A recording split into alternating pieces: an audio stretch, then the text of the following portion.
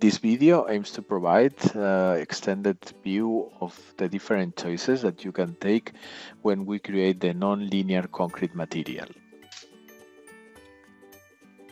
So we are going to follow the same steps as we did in the last video, but we are going to just give provide some more information of the different personalization parameters, of the extra parameters that we didn't select or we didn't pay attention in the uh, original video. Of course, you can get extended documentation and detailed documentation of the material properties on the different materials models by checking the Diana documentation.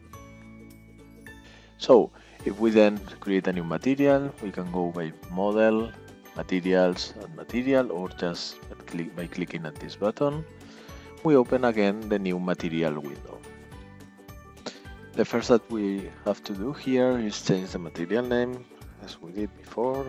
We rename it as concrete non-linear and then we need to choose the category. So as you remember before we stick to the concrete design codes but now as we want something more sophisticated with more uh, personalization options we are going to take the concrete and masonry. Here, if you go to the second config box, we have uh, many options for the concrete model.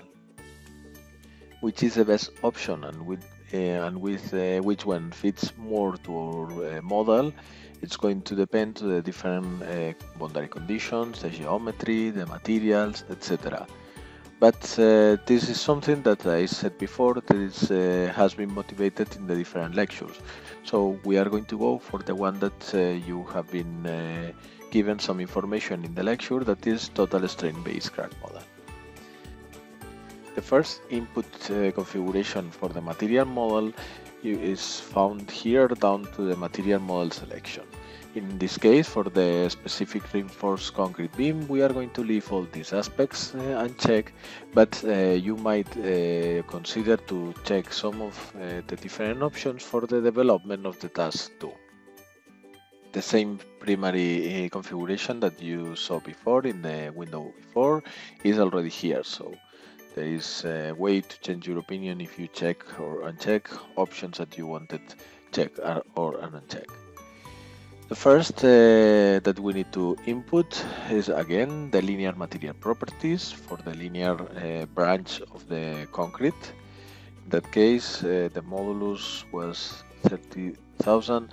Again, remember about the units. In my case, I have uh, user-defined units, but if you are working with the by default units, so you didn't change anything during the model development or the viewing of the results, then probably you are working with the Newton divided square meter unit. So consider this when you define your input. I like to work in Newton millimeter square millimeter, but it's up to you how to proceed. The Poisson, Poisson ratio, 20%, and the mass density that's not really necessary, but you can introduce it. Then the total strain based crack model. Here uh, you have three different options, fix, rotating, or rotating to fix. These models are intended to, to tell Diana how the crack has to develop on our model. So if we if we check rotating base model, the crack is going to rotate uh, following the principal stresses. But for example, if we choose fix, we precondition the crack direction. But uh, this is very related with the kind of problem that we are working with and the geometry and many other parameters that are out of scope of this example. So we are going to stick to the rotation, to the rotating uh, crack orientation model that is the simplest one.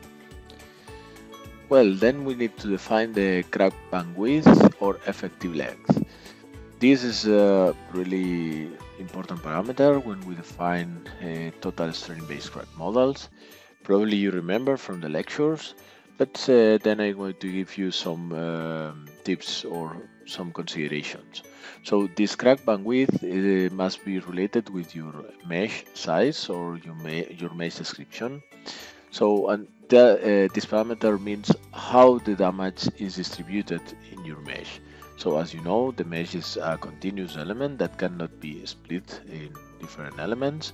So when we have a crack within an element, we need to tell the model or we need to tell the, the, the Diana how to consider this damage and spread into the structure. So in that case, uh, using these total strain based crack models, we use the parameter crack bandwidth as a, as a parameter to define the length where we are going to spread the damage uh, of each crack. There are many considerations in order to define this parameter, this configuration parameter, but uh, we are going to use as crack bandwidth or effective length the average uh, separation uh, of the cracks that we can calculate directly from the codes. In our case, is 150 millimeters. So we are ready to move to the tensile behavior of our material that uh, is going to define how our material is going to behave under tensile stresses. Again, Diana offers here uh, many configuration options or many different material models for the last for the tensile behavior. So we have since the fully or linear elastic to the brittle, fully brittle, and then we have different uh, other shapes of our tensile curve that uh, are going to define how it behaves after cracking and previously to cracking. In our case, we are going to use Hordijk, that is uh, the one that you got uh, documentation in the different lectures. Hordijk is essentially based on the on two different parameters, tensile strength and then energy fracture. If you remember, the energy fracture corresponds to the area that we have uh, under our curve and then the tensile strength is the value that we can reach before the concrete starts cracking. So we are ready to introduce our parameters. We already know what uh, they mean. Uh, the tensile strength is uh, 3 megapascals and the energy factor is uh, 0, 0, 75. But what about these other parameters? These three other parameters are like advanced parameters that are meant to modify the standard behavior of the Hordijk material model or the Hordijk tensile behavior. So uh, we need to modify or uh, change uh, these parameters if we want to override the by default options. So the first one is just to define a residual tensile strength. If we consider that our concrete uh, has uh, a remaining tensile capacity after it reaches uh, the maximum strains, strain, we can just put a value here, 1 megapascal, 3, that means it doesn't lose any tensile capacity, or what or whatever. So and then we will have always uh, include some uh, tensile capacity on, uh, in the element. The other two options are meant to reduce the capacity of the material due to cracking. So we if we have lateral cracking we need to use uh, any option that we can see here to consider this effect on the tensile behavior of our material. So if we have lateral cracking, the material behavior must be different.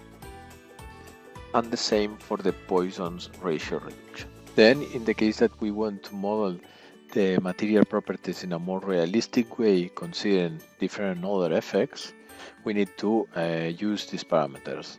In our case, we don't need to go uh, that deep, so we can stick to the default parameters for the material. Then we can move to the last parameter of configuration for concrete nonlinear, that is the compressive behavior.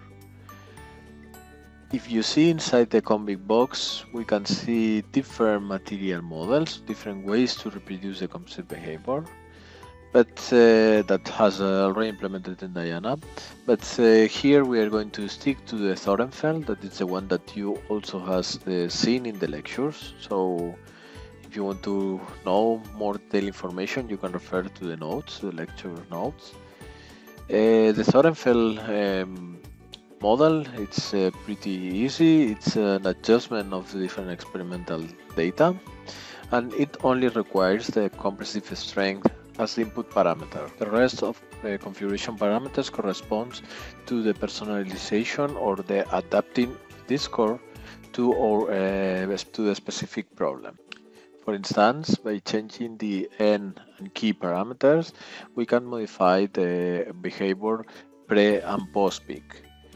And then the other relevant parameter is the length scale parameter that this uh, tries to adjust the curve to our element size. So this is a pretty important parameter just in case we have localization of failure of concrete compressive failure in our model. So when you detect this kind of failure, you can try to adjust your curve to the element size that you have. The last parameter is just to uh, consider confinement of the concrete and it uh, will modify the concrete behavior, the concrete curve, uh, regarding the different confinement models that you can see here. For this specific model, we can just stick to the default options, the compressive strength, and leave the other uh, modification parameters in white. Thank you for your attention and see you soon.